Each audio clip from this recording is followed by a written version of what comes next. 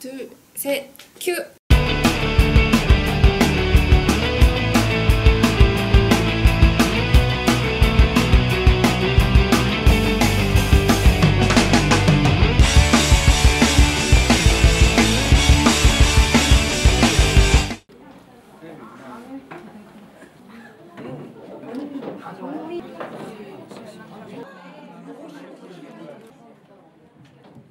지역 안에서 활동하시는 다양한 분들이 모, 모여서 협치가 도대체 무엇이고 서울시와 성북구가 추진하고 있는 협치 정책이라는 게 어떠한 맥락에서 추진되고 있는 것인지를 정확히 이해하고 좀 공유한 뒤에 이후에 어떤 진로를 좀 고민해보는 자리를 갖고자 오늘 민간 집담회 첫 자리를 개최를 하게 되었습니다.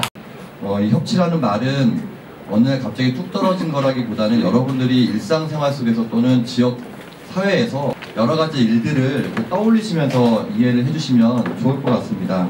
이 민과 관이 협력을 해 나가는 데 있어서 어, 개별 시민사회 단체 또는 어떤 개별 시민사회 분야 이렇게 좀 각각 따로따로 협력들을 추진해왔던 바들을 행정 간의 칸막이, 민간 간의 칸막이들을 조금은 걷어내고 어, 전체적인 기반을 만들고 제도화가 된 어떤 분위기 속에서 이 협치의 어떤 수준들을 한 단계 더 높여보자 라고 하는 취지, 취지가 있습니다. 자치구의 협치 체계를 구축하기 위한 여러 그 발판이 되는 사업으로 시민협력 플랫폼 사업과 지역사회 혁신 계획 사업이 있는데요. 어, 지역사회 혁신 계획은 민과 관이 함께 협력해서 추진을 하는 사업이라고 할 수 있다면 시민협력 플랫폼은 민과 관이 협력을 이루기 위한 전제로서 지역 시민사회의 역량을 강화시키고 어, 여러 이 지역사회의 거버넌스 즉 민과 관의 협력의 욕구들을 하나로 모으는 그런 역할들을 하는 민민, 민간 사업이라고 할 수가 있겠습니다. 그런 협치라는 개념의 활동들이 전혀 없었던 것은 아닌데 우리에게 지금 이 시점에서 이것이 되게 새롭게 다가오는 이유가 뭔지 좀 돌아보는 자리가 필요할 것 같은데요. 2011년 후쿠시마 사고가 나고 나서 노- 어, 시민들과 함께 원전 하나 줄이기라고 하는 정책을 만들었습니다. 그 태양광 발전도 설치하고 이런 정책들을 만들면서 이거를 행정이 직접 실행하는 게 아니라 어, 일반 주민들과 함께 어떻게 참여할 수 있을지 위원회도 꾸렸는데요. 저희가 이제 4년 동안 활동을 하다 보니까 고민이 되는 게 집에서 에너지를 절약하자 이런 캠페인으로만 지금 현재 끝나고 있어서 어, 이걸 어떻게 해서 환경과를 넘어서 다른 과와도 협력을 하고 그리고 지금 녹색환경 실천단이라고 하는 각 동마다 활동하시는 분들이 있는데 이분들을 넘어서 마을 계획과도 함께 연결될 수 있을까 고민이 좀 되고요. 2011년부터 성북에서 아동 청소년 뭐 교육 돌봄 그런 주제로 원탁회를 참 많이 했습니다. 매년 한 뭐 200인 또는 많게는 뭐 500인까지 원탁회를 했었고요.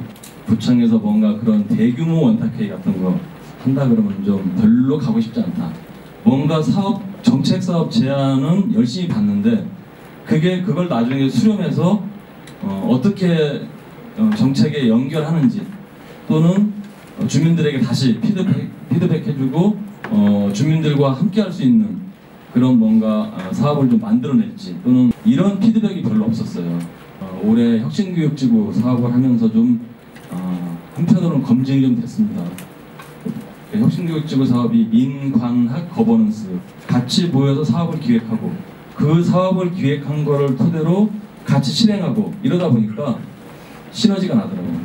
그런 우리 성북은 너무나 변화가 빨리 오고 너무너무 많은 거예요. 이런 거 새로운 거를 계속 발굴하고 새로운 것을 계속 앞으로 진보적이고 이렇게 가는 것도 좋지만 이런 마을 계획단 이런 거 하나 딱 생겼을 때 이런 사람들이 왜 우리가 마을 계획단 하는가 왜 마을 민주주의인가? 마을 민주주의를 건드려서 왜 마을 계획단으로 가고 있는 것인가? 이런 것 자체 하나가 차근차근히 갈 수 있도록 해주셔서 또 이렇게 협치 성북 아 왜 협치를 해야 되는가? 이런 것까지 우리가 하나씩 깨우칠 수 있도록. 별도의 협치 사업 예산은 따로 책정이 되어 있고 어, 이 협치 사업을 하는 이유는 전착동과 같은 기존 사업들을 보다 더 효과적으로 성과를 만들어내기 위한 협치적인 기반들을 만들어서 함께 해봅시다 이런 측면이라고 보시면 됩니다.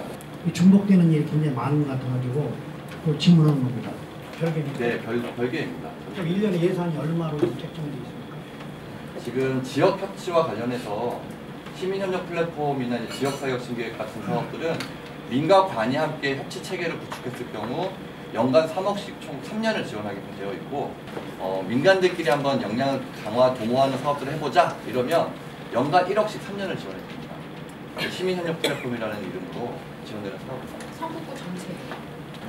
어, 민민이라고 하면 주민이라는 영역을 우리가 조금 더 확장해서 생각해야 되지 않는가. 저는 사실 전문 기획자이면서 주민이거든요. 어, 활동가이기도 하면서 어, 그런 어, 사회적 경제, 뭐 주민, 마을 기획단 이렇게 영역을 구분하지 말고 더 많은 다양한 활동을 하는 사람들이 이 자리에 모여서 어, 우- 우리 활동들을 공유하고 이것들을 같이 어, 지역 안에서 어떻게 예, 활동을 풀고 의제들을 만들어내고 어, 그런 고민들을 할 수 있는가에 대한 이야기들을 좀 풀어갔으면. 문제는 뭐냐면 그분들 한 분 한 분이 사업하시는 분들이 협치가 전혀 이루어지질 않고 있어요. 뭐 네트워크 뭐 얘기 많이 하고 뭐, 뭐 동교동문학부터 시작해서 굉장히 많은 걸 협치를 이루기 위해서 노력을 많이 했던 것 같아요. 근데 그런 것들이 전혀 제가 보기에는 어, 이루어지지 않은 상태인 것 같고요. 이 짧은 시간에 이걸 올해 뭔가를 하겠다는 것 자체가 좀 고민을 많이 해야 될 것 같고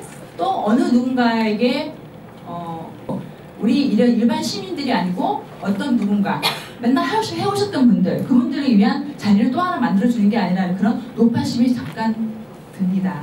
이렇게 집단회 하기 전에 각 단체들을 좀 불러서 각 단체 대표성 가는 분들을 좀 초청해서 준비 모면 정신을 갖고 나서 이런 모임을 다시 가져야 되는데 근데 그런 거 하지 않고 또 집단을 열고 우왕좌왕하고 있거든요.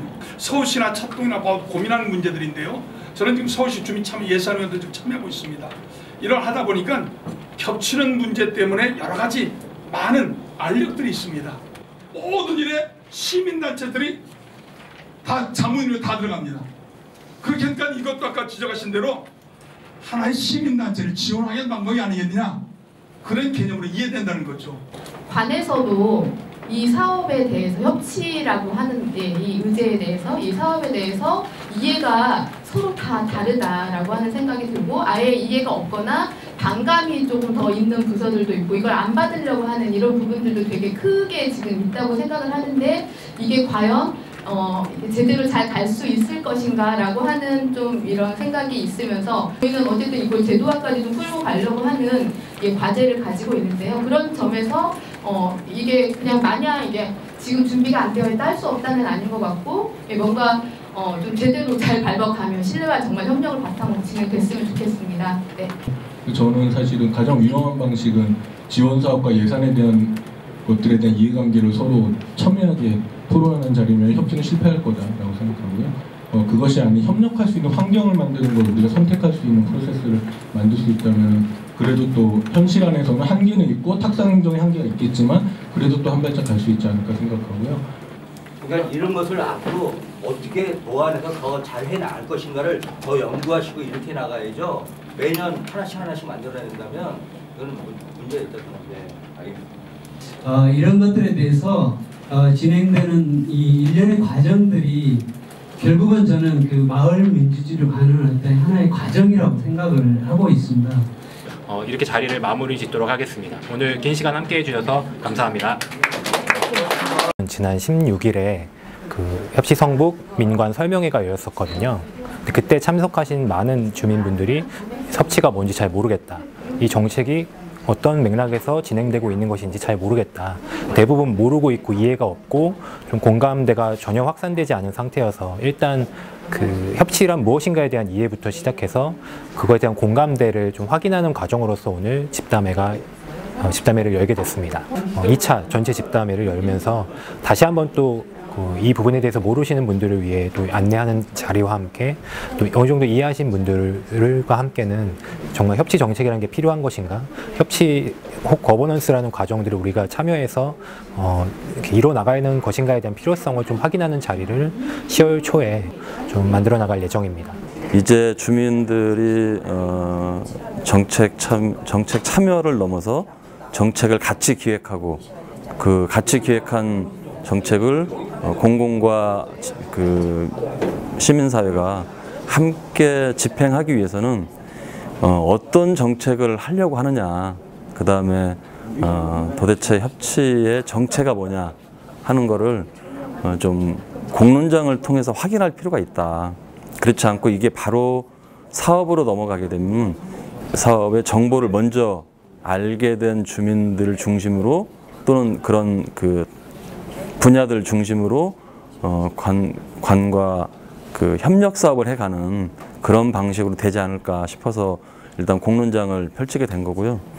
그동안에 겪었던 경험들 좀 서로 공유하면서 어, 그동안 거버넌스가 가졌던 한계와 과제 또는 뭐 성과 이런 걸 좀 서로 어, 공유할 수 있지 않았나 이런 생각이 좀 들고요. 이제 논의하는 과정이 되게 무거웠잖아요. 뭔가 하고 싶은 얘기는 있는데 쉽게 안 나오는. 음, 그리고 좀 서로 눈치를 보는.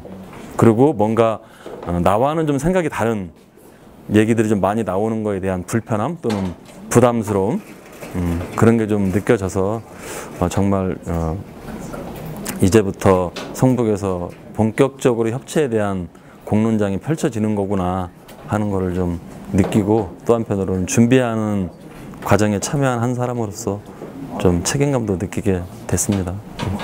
민간의 힘이 결집되는 그런 토대 위에서 이루어진 협치가 가능하지 않을까. 음, 결집된 힘이 보였을 때 공공도 좀 민을 존중하게 되지 않을까. 오늘 어, 이런 집담회를 했다는 거에 좀 뭐 의미 있다고 생각하고요.